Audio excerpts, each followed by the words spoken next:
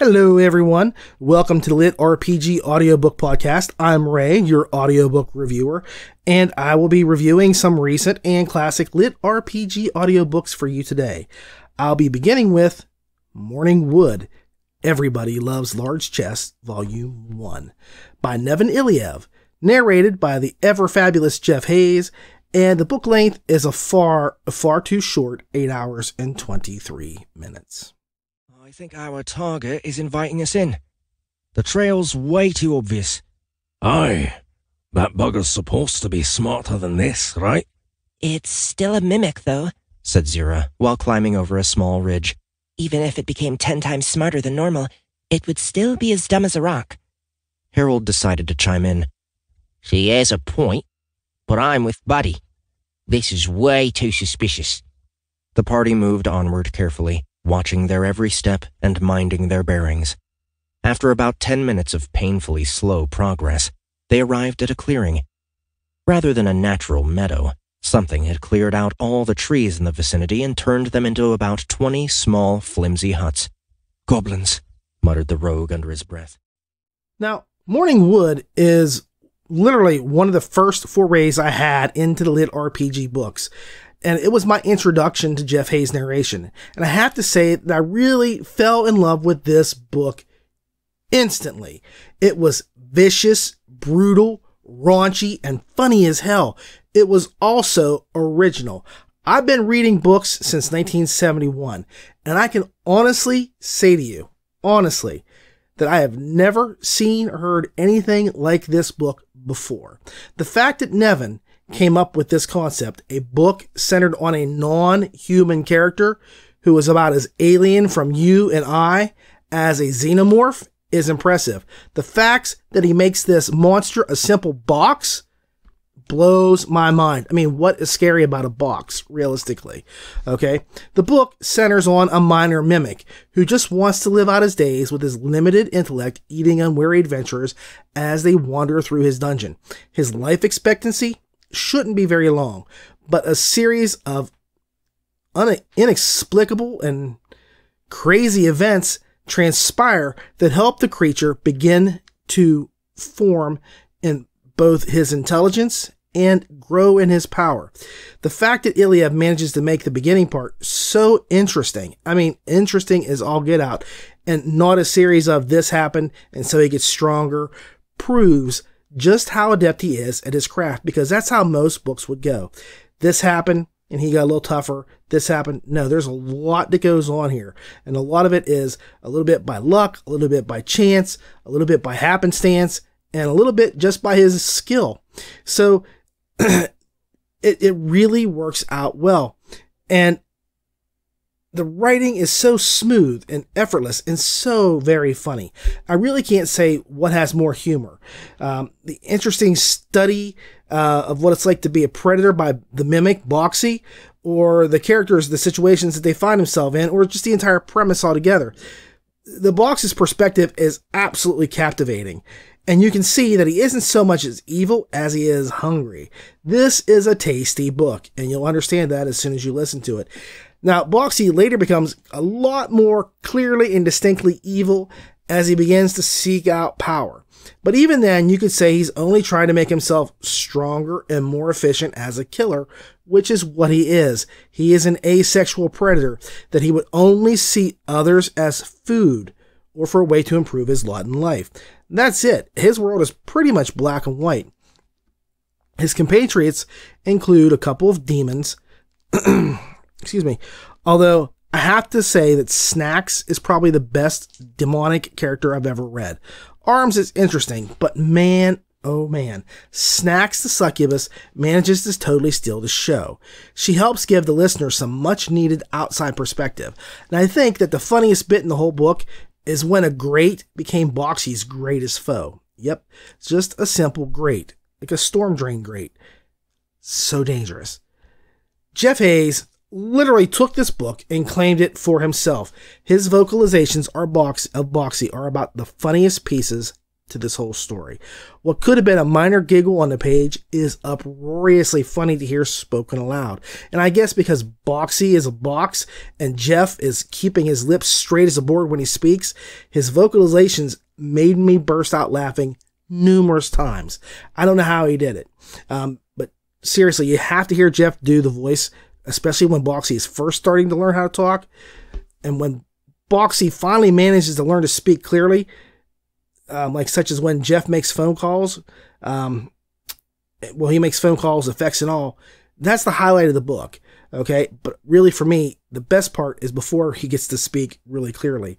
It's it's good that he can speak clearly later on because it gives you more jokes and gags. Like I say, the phone calls to hell are so funny, Jeff trying to say words without moving his lips sounds very natural and it's crazy crazy funny. So Jeff here has timing and his vocalizations and style. They all mesh so perfectly. It's like listening to Robin Williams do stand up only when he was really funny. Okay. Uh, the book brought me into this genre full time. Really, it really did. It, it pulled me right into this genre and led me to find other stories in the same vein, like the Divine Dungeon series. The book itself is just about as perfect as you can get. The characters, the world, the humor, and the narration are all a perfect storm of audible audacity that you will not forget. This is one of the best books I have ever listened to, bar none. And if you haven't, I highly suggest that you grab it, a credit, and go and splurge on this boxy book today. Final score 8.75 stars because this book is just so very tasty. All right, welcome back, gang. Uh, the next book I'm going to be reviewing is called Inside Out Bloodfeast, Book 1 by Ellis Michaels, narrated by S.K. Lina, and the book's length is 4 hours and 29 minutes. Orcs! Alyssa yelled as they became visible, walking up the winding path. The second he saw the first orc, Luke rushed forward and unleashed a deafening battle cry. All six orcs were surprised and quickly reached for their weapons. They carried a variety of old and beat up rusty swords, knives, hammers, and axes. Before the lead orc could even unsheath its sword, Luke's longsword came crashing down on its shoulder, lopping its right arm clean off. The orc screamed. Blood was squirting out of the lead orc's arm like water from a broken fire hydrant. It tried to stop the bleeding with its left hand, and it worked for about half a second. The orc looked up from where his right arm used to be just in time to see the smile on Luke's face as he swung his long sword a second time. With one powerful swing, Luke chopped the orc's head off. This is fucking awesome! Luke yelled. As the orc's body collapsed to the ground, Luke saw plus 67 XP float up from its corpse into the air, disappearing after a few seconds. He thought it looked cool, but didn't have time to think about it further. There was more blood to shed. Now, if you've been watching me at all in any kind of episodes, you'll know there are times that I just literally bemoan how a good book was crushed by some crappy narration. But here, the only real saving grace is the narration. The story wanders and it lacks any kind of real drama, danger, or character growth. The premise is pretty cool, I'll give you that, okay, in which a group of players swap places with their actual game characters against their will, okay? Beyond that, it's all wasted potential. The story meanders and has no real focus beyond the whole we need to find our way back home trope. And anytime you read a gamelet story where, you know, if it's RPGs or video games and the characters in the real world get sucked into the game itself, the first thing they want to do is get back home. They always want to get back home. That's all they want to do. And that's fine because I know if it happened to me, I would probably want to get back home but you add other things into it, and it, it's just not there. There's nothing else beyond that wall of let's get back home. Uh, they try to do something with the the players, the, the characters themselves, in the players' bodies, but that falls really short because they barely they barely even leave their, their apartments, okay? And somehow this technologically inept group of people figure out within minutes how to use phones and play on a computer. And it, it, it, it was just, it was ridiculous, okay? Computer generated characters, they would have no idea how to use a cell phone. how to pick one up and, and just hit the button and answer it. I mean, none of that stuff. None. And yet, there it is. There it is. And that's where I say that the story is just really weak in so many different spots that it just, you know, the one element that could have been fun, like the characters in the real world, is squandered with them eating junk food and watching the players try to find their way back home. Now, a lot of the book is confusing, and I don't know how to say this any other way. The game itself, there are a few things that are explained or revealed. For example, the game itself is called Bloodfeast. And in Bloodfeast, for some reason, you're supposed to eat the body of your fallen enemies. But there's no explanation as to why they do that. I saw no buffs, no benefits from the act. It was just kill and eat, kill and eat, kill and eat. Now, pardon me, but that sounds like a game that a psycho would play. Okay, literally, I mean, I'm just, you know, whew, I'm crazy and I like killing people. What could be better than that? Well, how about I kill them and then eat them? Hmm, Ed Gein, maybe? I don't know. So, uh, you know, that is just not a realistic thing unless there was a reason for it. Okay, we're all werewolves, so we eat the dead and it gives us power. Or, you know, you eat the dead and you take part of their soul and it gives you strength. I could let that fly, but none of that kicks up into the story. There's no reason for it beyond, hey, it's called Bloodfeast and we're supposed to eat the, you know, the people we killed. So let's do it. And then the one character, Luke, he, he likes to urinate on the bodies of the people he's slain after he's done.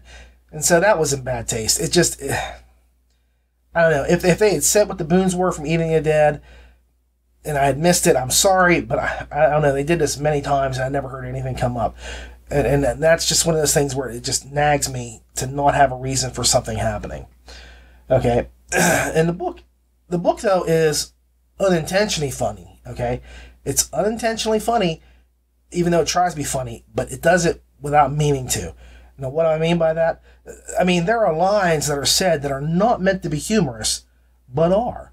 Such as there was one line where they, they walked into um, the city and they said the area was full of beggars and prostitutes, who were mostly non player characters. Well, I would have hoped they were all non player characters. Uh, for a gamer to log in and play a prostitute or a beggar doesn't sound very fun. Uh, I could be wrong. I guess you've got those suits. Uh, maybe you do feel better about it, but they didn't ever say they had suits. They just had headgear that they played. And I think actually, um, it was all on a computer screen, if I remember right. So you wouldn't even have a physical sensation as a prostitute. So what would you get out of it? I don't know. Uh, and begging just doesn't sound like, you know, alms, alms. I, I couldn't do that for eight hours a day and have fun. So, like I say, it was unintentionally funny because when he said that, I, I literally snickered. And then poor grammar appeared. And, and that is hard to notice in an audiobook. I don't know if you realize that or not, but there is there are some issues with the grammar. Um, it mostly came between she versus her usage. And by that I mean he would say same, something like her and him went to the store. Okay, it's not her and him. Okay, and that, that just kind of stuff popped up all the time, and every time it did, it tripped me and made me come right out of the story. Poor grammar is not something you expect when you're having a book narrated to you. Okay, um, it's just one of those things where I, I, I let it slide to a certain extent because I have that in a couple other books, but this was just piled on top of other things. Now you might recall the the the review I did for Archaic Venture, where I believed that the narrator had killed a story, and here I'm going to say the opposite is true. While Lynna isn't a mind blowing narrator by any stretch of the imagination, he does a really good job. And I have to admit that his voice for Luke, the character, sounded a lot like my Uncle Ron. Uh, so I kind of had to like him a little bit more than usual because Ron is a real character, was a real character all unto himself. Um, he's crazy, but this fit him really well. That's all I could think of when I listened to it. I never had an issue with the sound quality or the voice work. He was solid as the Great Wall of China. He did male and female voices, and they worked. They were distinctive. I enjoyed his work. I really wish he'd had a better story to work with because he might have been really amazing. I can't imagine if he had something that had some real teeth to it, you know, what he could have done. It's a tough call, but the issues the story had did not fall at his feet at all. So, you know, Lina did his job and did it well. And that's all I'm going to say about him. Now, I find it sad that I had to hit this book with a hammer, but the fact of the matter is, I cannot abide when things are not explained.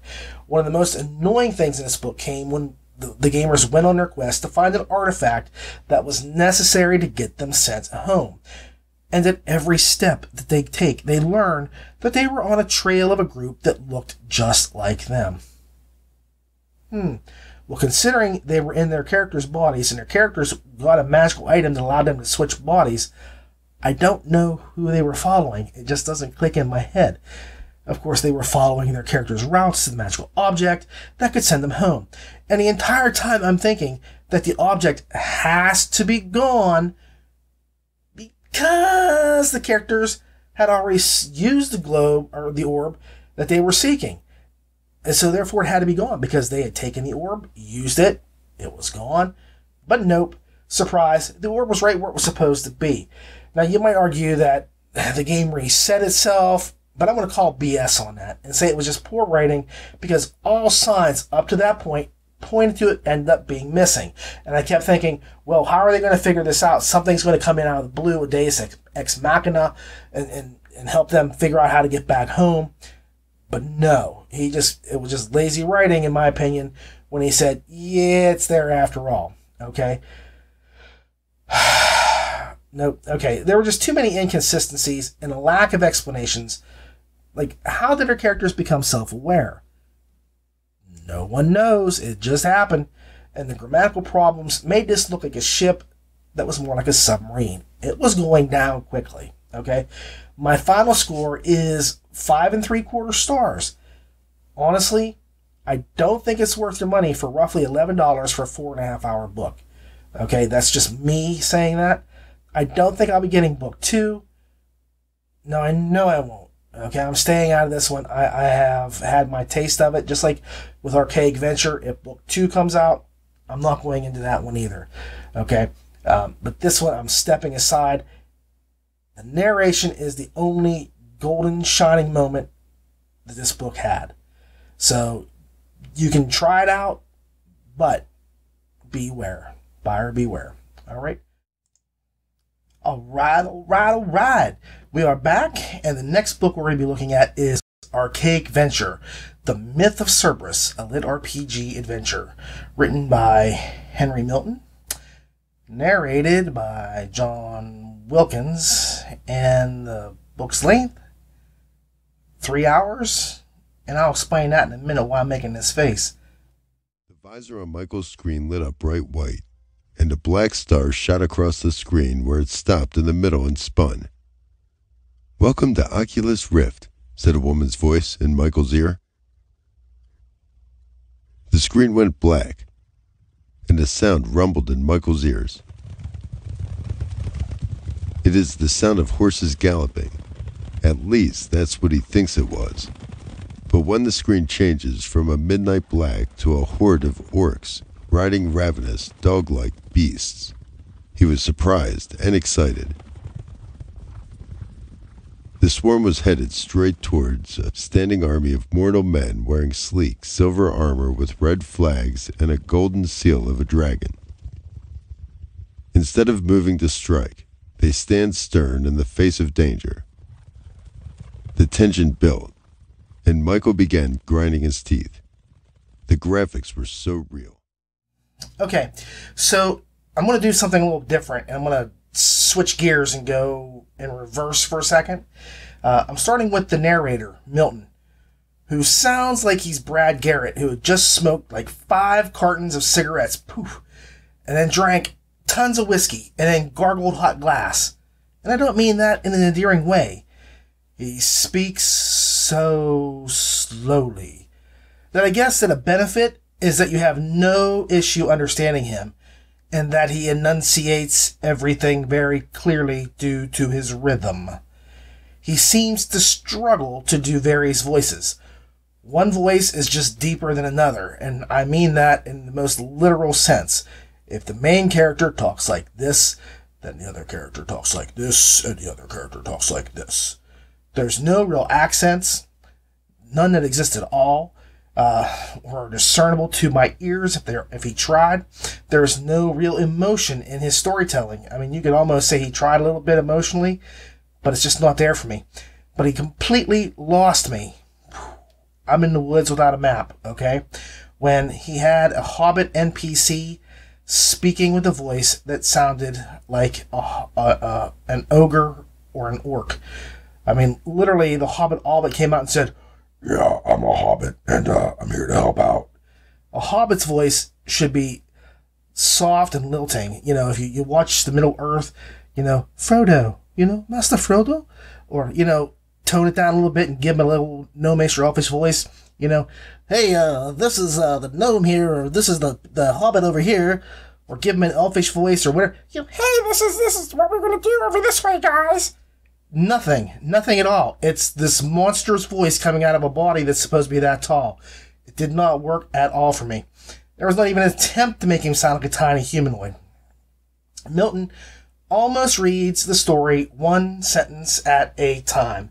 One, okay? Uh, he really takes away from the actual tale. And for me, a mediocre narrator can drag down a decent story. He, he takes away from the tale, and it makes it hard for me to tell how good the story itself is. And then he does something else. He adds in two things that he should just stay away from for a story. The first is music. Uh, every chapter starts and stops with music and it, it, it was just jarring. It wasn't like good music or pleasant music. It was just out of nowhere music. Now, I'll, I'll give you an example. Um, I'm a big fan of Kevin Hearne's The Iron Druid series. And in that series, he starts each book and ends each book with a bit of music. But it's just tra la la la la. Hi, it's Kevin Hearne. Uh, thank you for picking up Tricked. We're going to have a really good story today. Here you go. Boom, you're in. End of the book. Hey, it's Kevin Hearne got something for you. Thank you for, for listening. We might have a preview for the next chapter of the next book. Keep on rocking. And that's it. He's out of there.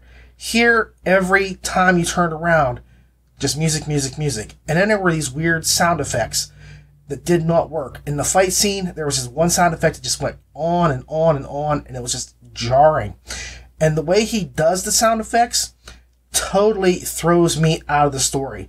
I'll give you an example the main character, Michael, let's just say he walks into a room, and this is what happens. Michael walked into the room. Okay, I'm not going to do his voices. I can't get that deep. Michael walked into the room, and the crowd applauded at his amazing abilities to cast spells. Now, in this, he says, Michael walked into the room, and the crowd applauded. at his amazing ability to cast spells. It it it didn't work. And and, and I'm going to throw a bone here to Soundbooth Theater because these people know how to do it right, okay? If you listen to Morningwood, for example, or basically anything where they do any kind of a sound effect in their, their storylines, they make it not so much an effect as an event, okay? Uh, you experience it right along. So the applause that they would do would have the applause in the background as the guy talked over the words. He's, he's he told a story. They would have the applause. Um, there's a point where you know if, if they knocked on the door, they wouldn't say the man knocked on the door, and then he said hello. They would said the man knocked on the door and said hello, and that is how it should be done. And here, every sound effect is just set apart, set apart, set apart from the sentence itself that's supposed to be in. And it really just, it knocked me down. It just, it just, every time it happened, it just took me out, just took me right out of the story. And then, like you say, the music is just there for filler. I, I don't know what it's there for otherwise. And, and again, I'm going to go back to the narration once more. Just to give you an example of just how little he tries. Um, when the main character Michael meets two other players in the game, Komodo and Rampage, I had no clue that one of the players was a female, Rampage, okay? There was no attempt at all to make her sound remotely feminine. None. None. Zero. Zip. Zilch. Had they not said it, I'd have never known. In fact, there was a point where I was listening to the story and I couldn't tell whether it was Rampage or Komodo who was talking for a moment. And then I thought, if they hadn't said she, I wouldn't even known it was Rampage. And that really, it, it's bothersome. I mean, it doesn't take much to just do a little bit to just soften your voice. If you can't do hobbits, at least do girls, at least do one girl. If the main character hangs out in a party with one girl, give her a less manly voice than your own. That's all I ask. Now, I started talking about the narration because I recently reviewed a story called The Glass Bard, you may remember. And my interpretation of the story was harsh due to the narration itself. I did not like the story, but I admitted, I came clean, that the narration was most likely a contributing factor. And then I saw that Ramon uh, had reviewed the same story the next week on his LitRPG podcast, and he scored it much higher than I did. He liked it. And that's because the narration destroyed what was probably a pretty good story. Now, I don't read books anymore. I don't have time. I listen to them. I can listen all day long. I don't have time to pick up and, and, and read as much as I'd like to. It's a struggle for me just to get down my reviews. And I probably do 15 reviews in one day when I write reviews for my Audible account because that's the only way I can get them all in because that's my rare moment of clarity that I have that I can take and zip stuff off. So Audible is the only way I get to listen to books or even enjoy books anymore. So I really count on narrators to elevate stories, and this is just not one of those cases. And I want to come clean about it because it irritates me that I can't enjoy a fantastic story. Okay, but the writing here isn't amazing. Okay, I found large chunks of dialogue to be stilted and almost awkward. The fight scenes, they were average. They didn't grip my imagination at all. And the story itself was a standard tale of a young man who's disabled and goes into the VR world of Archaic Venture so that he can experience what it's really like to walk and make friends. Because we all know that if you're disabled in real life, you can never have real friends in the real world, and that you have to live in your home and be locked up in your house with your parents until you die. Right? Well, that's the way the book makes it feel, because he has no friends in the real world. In fact, the people that do know him from school treat him like a jerk. And I have to I have to wonder after all the things that happened in the book, maybe it's not so much his disabilities that make people not like him, but it's just his personality that make people not want to hang out with him. Because I'll tell you, I'll get to it in a second. The things he does, I had to boot him out of my party. Okay. Uh, now, the odd thing is that when Michael does meet, and here's where I'm getting to it, uh, Komodo and Rampage, they very reluctantly allow him to join in their quest to kill Cerberus, a beast that will earn them $30,000, 10 grand each, godlike in-game abilities, and a visitor ooh, to meet the game's creator. Everybody wants to meet the game's creator, right? And I'm going to say this just flat out. To get godlike abilities in a video game is just flat out stupid. I've played many a game in God mode. I love God mode. I love it for about two hours. And after two hours, I've God moded myself right out of the game and don't want to play it anymore. It's boring. Who wants to be invincible, invulnerable, unbeatable? It's good for a laugh, but it's not good for a permanent gameplay. And that was a stupid, stupid win for the people that killed Cerberus. They should have just got a money uh, uh, award and left it at that, or some great gear, or something along those lines. Not godlike powers. That's just okay. And then the reason why it was a reluctant take is because one of the characters or one of the players really didn't like Michael and didn't want him to join, and the other character talked them into it. Okay, so you have an instance where the party already is on shaky ground. So as soon as they agree to let him join the group, they decide to go to a bar to get information on the quest for Cerberus. And literally five minutes in the bar, Michael ends up getting them attacked by a higher level player because Michael had killed his horse in order to gain the gold that he could buy beer for everybody. They get into a bloody, bloody fight over a stupid event, and they end up bonding and becoming closer, which is ridiculous because I don't care what happens in this world. If I'm in a fight, and I'll go back to my dad's old adage, oh, when you, you go out and you fight a guy, after you beat the crap out of each other, you'll be best friends. Baloney, Dad. I'll say it now and I said it then. If I get into a fight with somebody, whether he wins, I win, or whatever, I still harbor ill feelings for the guy. I always will. I've never punched somebody in the face because I like them. And I never wanted to punch somebody in the face because I like them. And the reverse is true as well. And after you punch somebody in the face, you don't magically like somebody.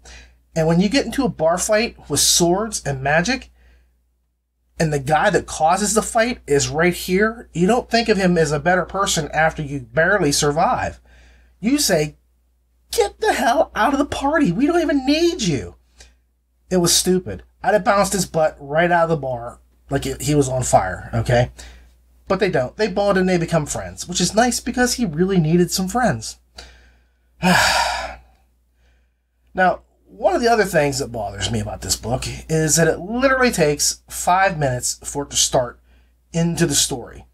And then at the end, another half hour is tacked on for a preview of another book that has yet to be released. I don't know if it's ever going to be released or whatever, but it's not out. Okay. And I don't mind previews. Like I said with the Kevin Hearne thing, I know Kevin Hearne's going to put out a book. And that preview is that chapter he gives you or whatever it is. That's going to be part of another book very soon. Okay. Here, this really smacked of the, the Kindle U stuffing. Okay, and if, if, you know what I'm talking about, you're part of the community, you should know. The Kindle Unlimited program had an issue where people were filling their books with fodder, with just crap, so that they get more reads in and make more money.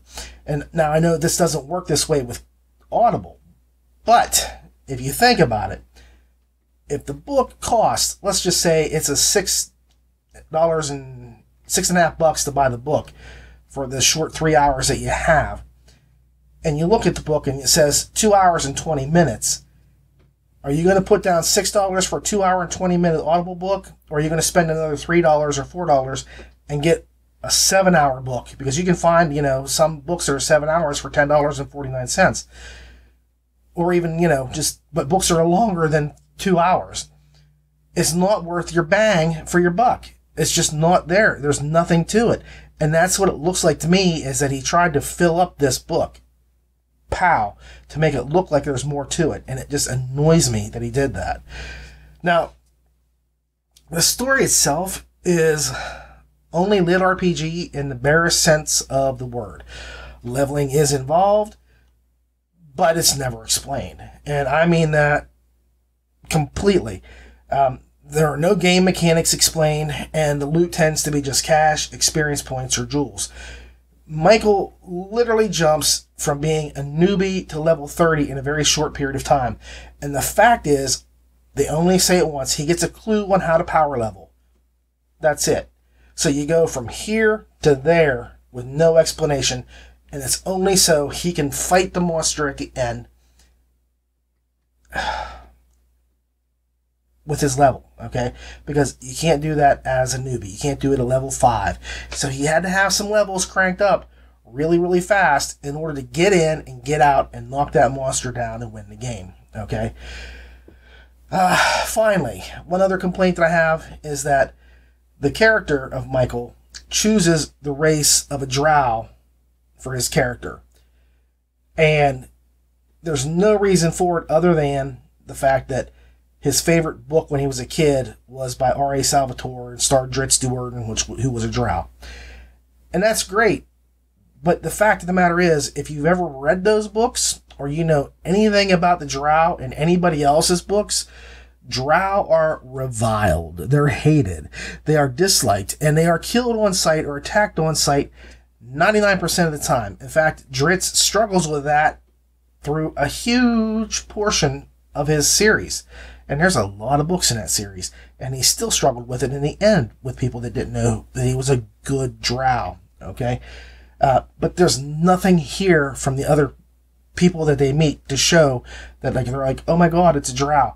The the you know, they go to the bar, no one freaks out that a drow just walked in. None of the NPCs or anybody else. So there, there's a lot of things that just don't sit well with me. Um, the story itself is just basically a let's go beat the monster for fabulous prizes quest. There's not a lot about this story otherwise, and I'm going to be honest with you. The biggest, biggest, biggest pick that I knit on this book is that with him being disabled, one of the biggest issues was um, his physical therapy was not going well, not going well at all. He was struggling to improve and get better. He gets into a haptic suit, and within three days, okay, I'm going to spoil, spoiler, surprise, there's a spoiler coming up. So if you don't want to hear this, just step back. The spoiler is three days in a haptic suit, basically, and he can walk. Okay. At the end of his speech with his parents, he stands up and walks away. And he does that because the haptic suit, well, because he pushed himself in that game, because he had to move around in that suit in order to play the game. And that inspired him and made him stronger physically. So what they're saying was is months of intensive therapy, physical therapy, training, didn't do anything, but three days in a haptic suit that is not made to improve you physically got him better. Okay. this this this is just one of those books where the the story is meh and the narration is eh and it, it's just a big dumpster dumpster fire. I mean, just totally, it's a dumpster fire. There is more of a fizzle than a sizzle in this book, though. Literally, I look at it like this: the story is an airplane eh, flying through World War II. The narrator is an anti-aircraft gunner. He looks up, sees the plane flying by. There's the plane, and it's not in flames, and it's crashed. Okay, what little kept this story aloft got massacred by the narration. Okay, uh, I chokingly give this, and I mean this sincerely, five out of ten stars, just because I'm trying to be fair about this and I don't want to hurt people. But the story is just meh, it's blah, and it doesn't pack any kind of a punch. You couldn't care less about the characters. In fact, if Michael had ended up in a wheelchair after it, I would have been happier just because there was some sort of physical character change or character growth or something.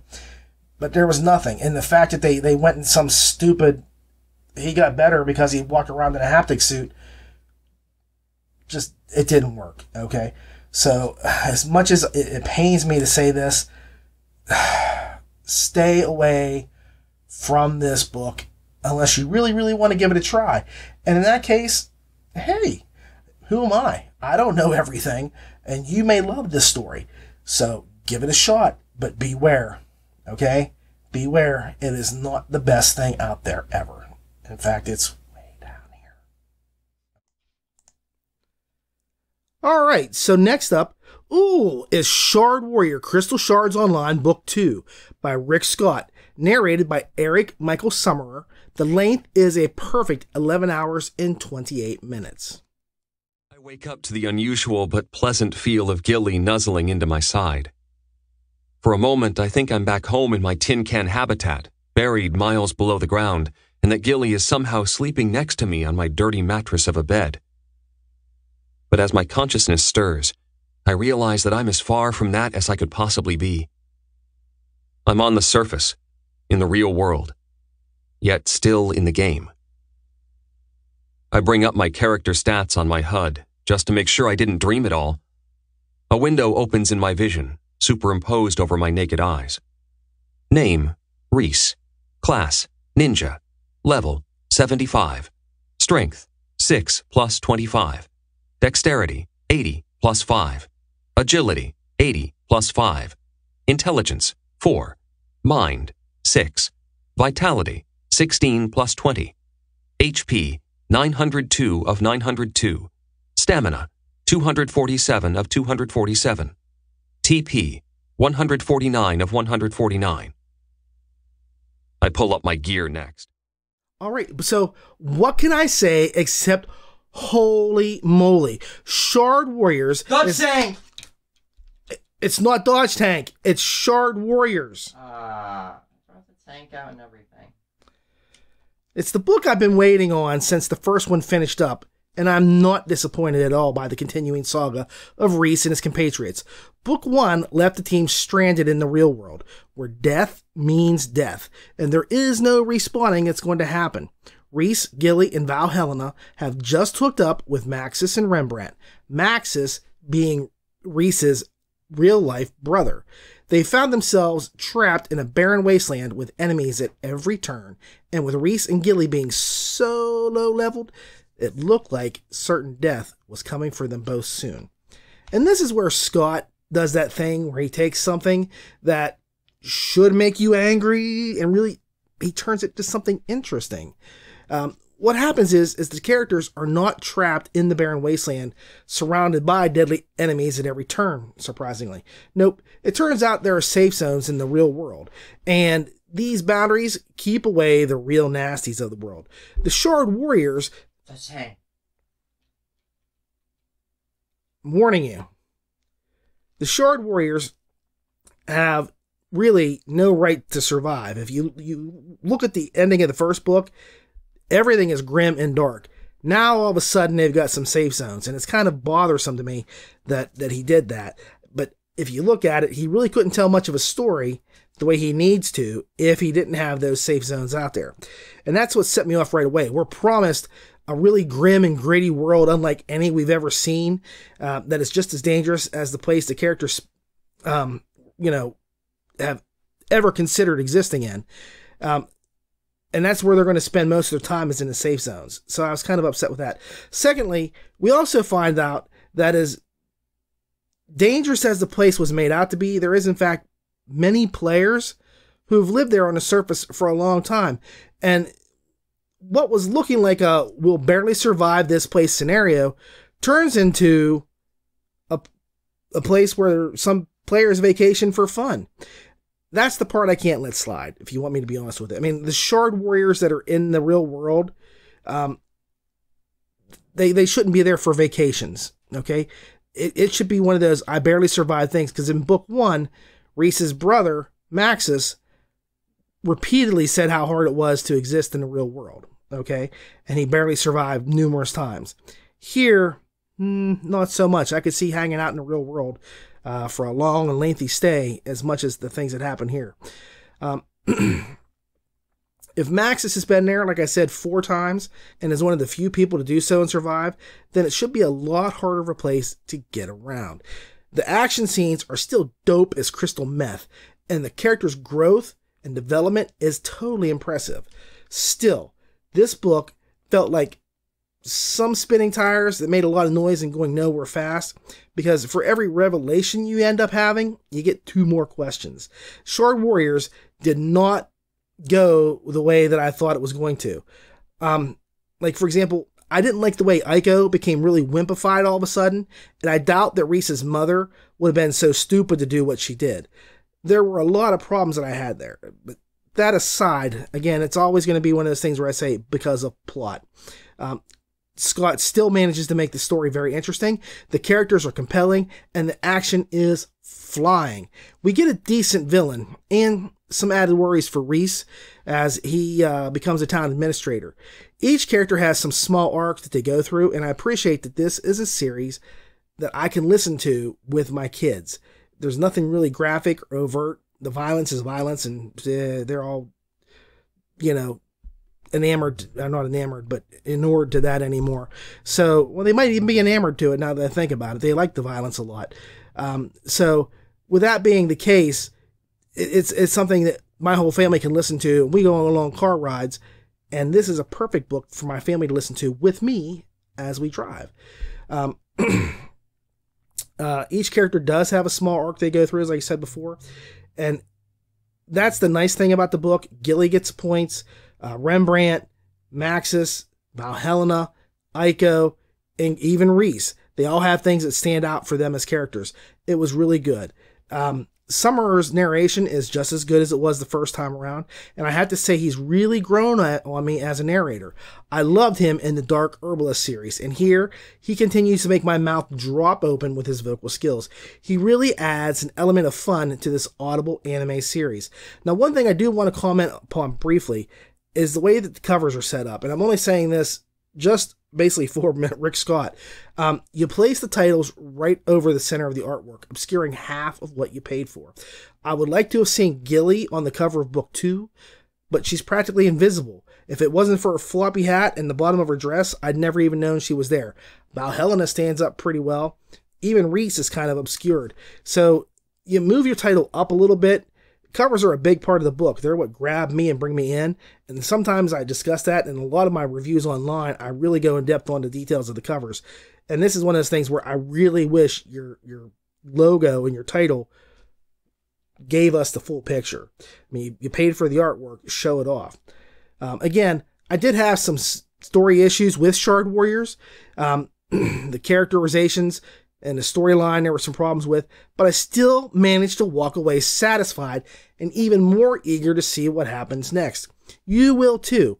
So, final score is an 8.25 because we were kind of led to expect a certain type of world, and I must say that the portions of what we get to see is fascinating, but I really would have liked to have seen them spend a lot more time in the grim and gritty, dark underworld uh, of the surface, fighting those horrible post apocalyptic Mad Max monsters. Uh, give me more of that, and man, the numbers and the ratings will skyrocket. Okay, so for this one, it's an 8.25, but I will say it looks like it's getting better every time.